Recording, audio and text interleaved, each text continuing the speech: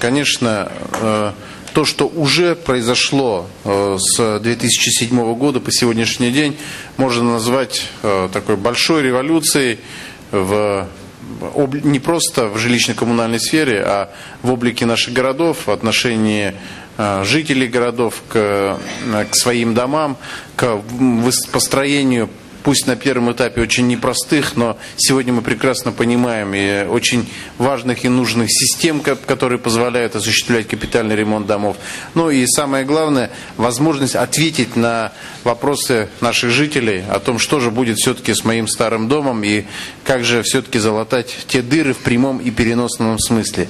Только для Татарстана это более 11 тысяч домов площадью 52 миллиона, миллиона квадратных метров. Ну, это э, там целая, целая, целая страна европейская, можно сказать, э, и в объемах, которые э, мы называем. Три года назад фонд обратился к руководству республики с предложением создать региональную систему капитального ремонта в качестве эксперимента. И вот сегодня можно с уверенностью сказать, что такая система состоялась, она живет, она постоянно совершенствуется и развивается. Э, почти 60 э, процентов всего многоквартирных э, жилого фонда уже отремонтирован. 60. Это очень значительная цифра. И нам бы хотелось, перед тем, как вы у вас начнут работать как раз уже региональные системы капитального ремонта, посмотрели бы, как организована работа, ну, пощупали своими руками, что называется, и использовали весь этот опыт э, в своей дальнейшей работе. Продуманность и тщательность э, работы механизма регионального оператора – это фактически основа всей устойчивости работы всей региональной системы, которая вот на обозримый период, вы знаете, там есть э, ближайшие задачи, есть э, долгосрочные задачи, должна обеспечивать поддержание жилого фонда в пригодном для проживания состоянии.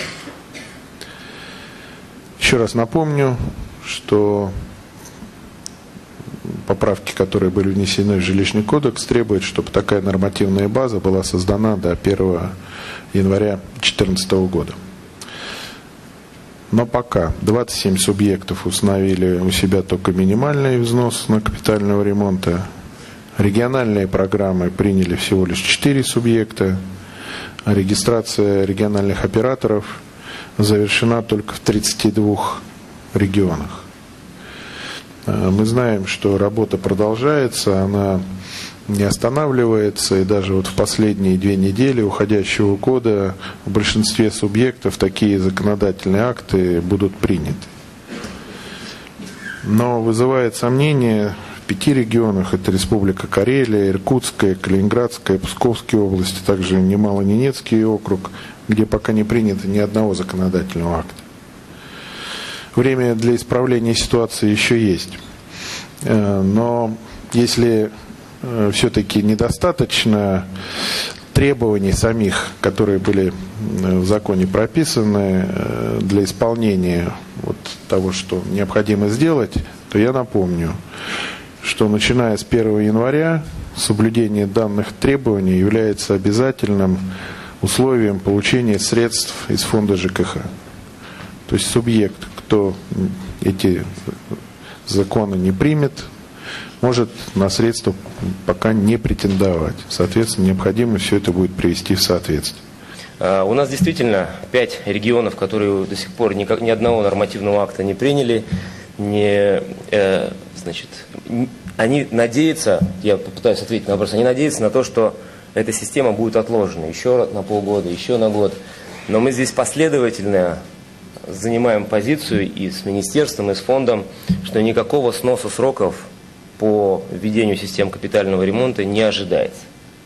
С 1 января 2014 года вступает в силу полновесный этот закон, осталось буквально несколько дней.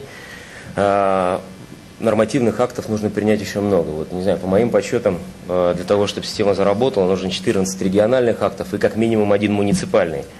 Но вот Константин Георгиевич говорил, что где-то принято два, где-то три, но полного набора всех нормативных актов, наверное, ну, может быть, по пальцам можно пересчитать э, те регионы, в которых они есть.